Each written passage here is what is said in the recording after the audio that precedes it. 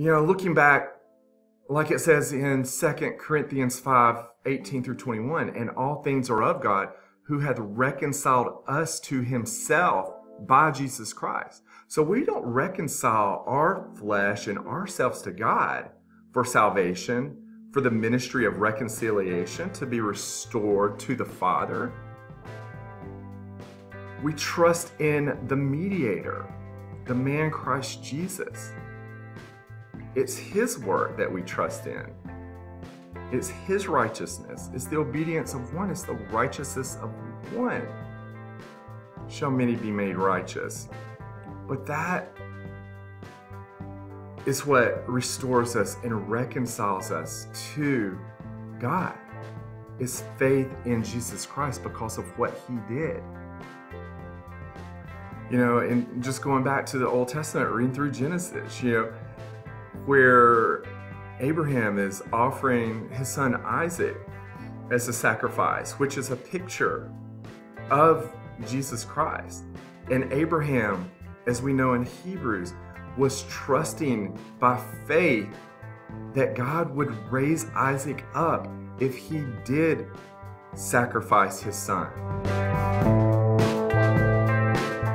But God stopped him and said, God will provide himself a lamb, the Lamb of God, Jesus Christ. But you can also emphasize the word himself. God provided himself a lamb. He provided himself a lamb. God in the flesh, Jesus Christ. And then goes on in verse 19 to finish the passage to wit that God was in Christ reconciling the world unto himself, not imputing their trespasses unto them, and hath committed unto us the word of reconciliation. Now then we are ambassadors of Christ. As though God did beseech you by us, we pray you in God in Christ's stead, be reconciled to God, for he hath made him to be sin for us who knew no sin, that we might be made the righteousness of God in him. So how are we made the righteousness of God? By repenting of our sins and trusting in our religious deeds and good acts that we do? No. We receive righteousness by faith in Him. It's His righteousness, it's His perfect righteousness, unblemished without spot. That's what we trust in.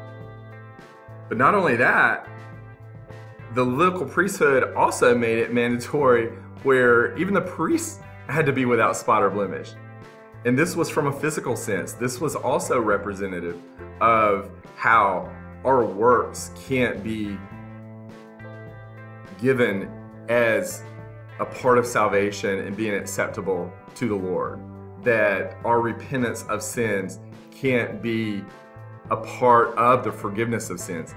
You know, if God requires you to turn from your sins in order to be forgiven of your sins, then why did Jesus Christ have to die?